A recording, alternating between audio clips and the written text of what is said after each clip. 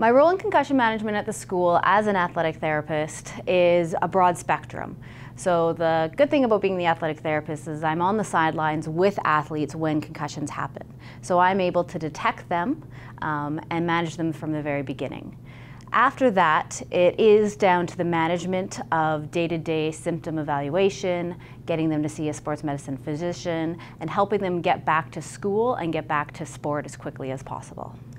I started with the school in the early 2000s, and at that time, concussion management was a little bit different than it is now. Um, I was also only with the athletes on the weekends, and I found it hard to try to track athletes between games to see how they're doing. In mid 2000s, I started with the school full time, and from there I saw a real need to get a pro protocol into place at the school to make sure that athletes were getting back to school and back to sport in a safe way. At that time, I was lucky enough to be asked by the University of Calgary to be part of research that they were doing on concussions and was able to make some good connections with sports medicine physicians. From that, we were able to establish protocols at Edge School of how we manage it, manage getting students back into play and back into school.